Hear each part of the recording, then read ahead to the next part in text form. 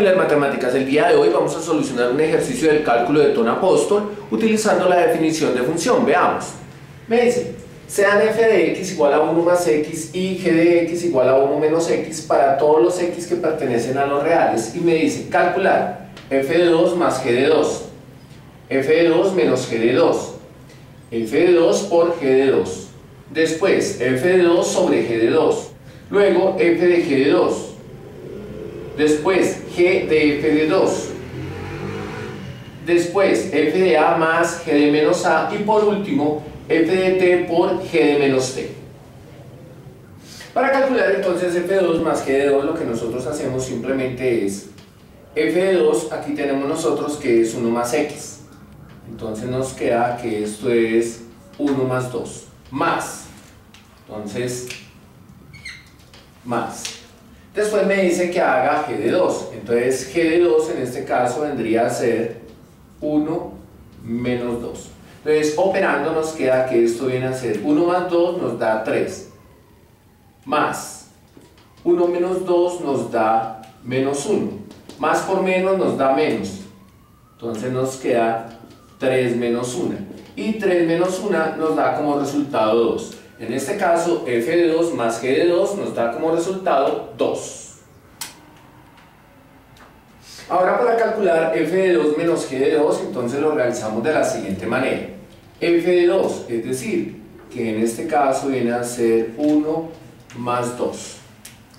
Menos, entonces, menos. Me dice que g de 2, entonces hay que tener cuidado y utilizamos paréntesis. 2 en este caso viene a ser 1 menos 2. Operando esto viene a ser igual a 1 más 2 nos da 3, menos 1 menos 2 nos da menos 1. Ahora, menos por menos nos da más. Eso significa que esto viene a ser igual a 3 más 1. Y aquí 3 más 1 nos da 4. Indicando como resultado que evaluando f de 2 menos g de 2 en nuestras funciones nos da como resultado 4.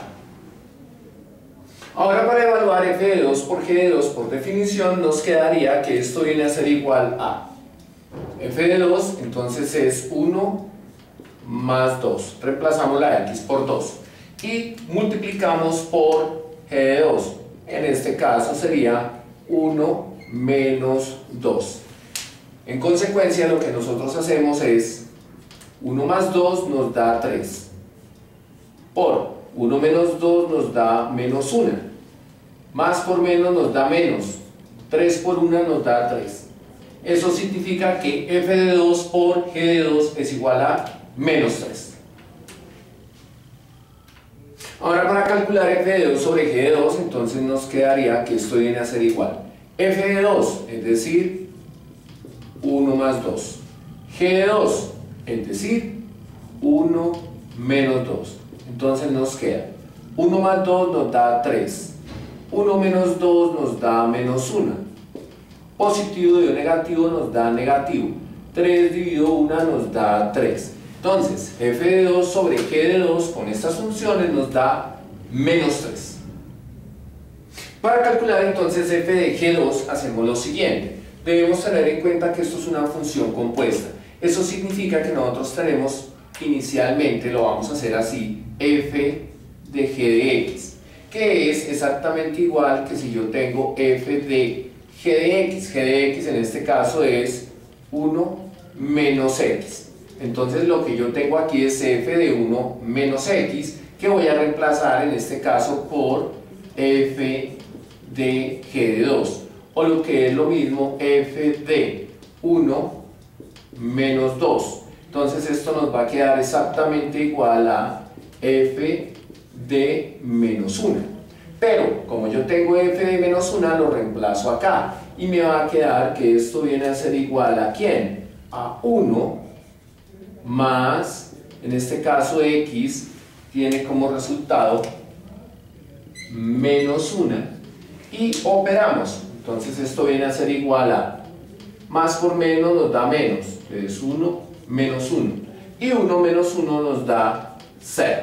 Eso significa que f de g2 es exactamente igual a 0. Ahora para calcular g de f2 entonces hacemos exactamente lo mismo. Tenemos g de f de x inicialmente.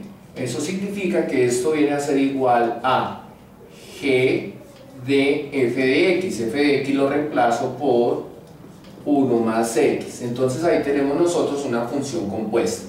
Para ello me quedaría g de f de 2 viene a ser igual a g de 1 más, en este caso x vale 2.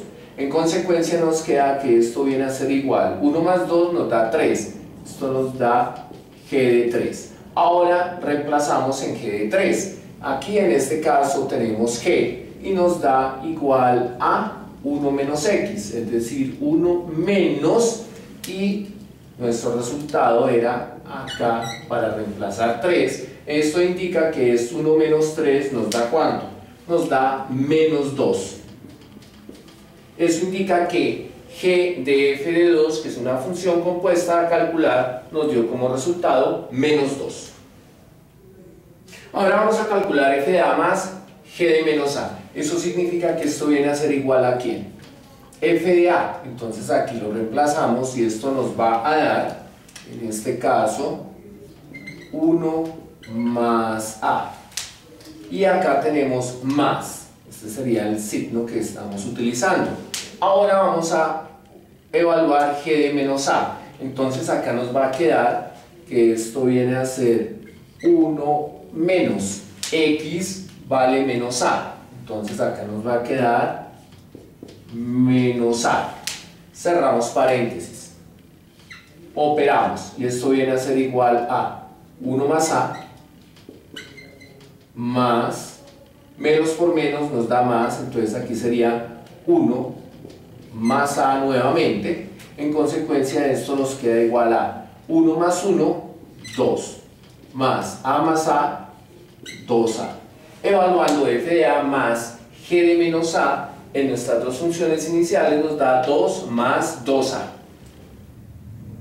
Y por último, al evaluar f de t por g de menos t, nos quedaría que esto viene a ser igual a f de t. Entonces acá nos queda que es 1 más t por g de menos t. Entonces acá esto viene a ser igual a 1 menos, entonces en este caso la x nos vale menos t. Cerramos paréntesis. Y esto viene a ser igual a 1 más t,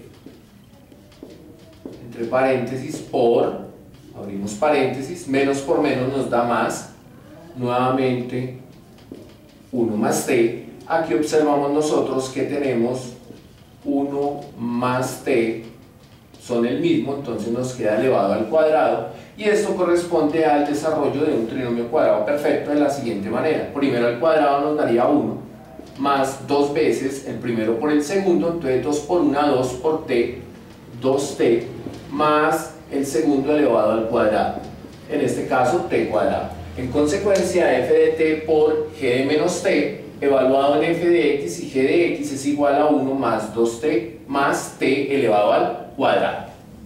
Esto es Miller Matemáticas. Estudia porque los logros que alcances serán directamente proporcionales al esfuerzo que tú apliques. Si te ha gustado este video, dale like y te invito a suscribirte a mi canal Miller Matemáticas.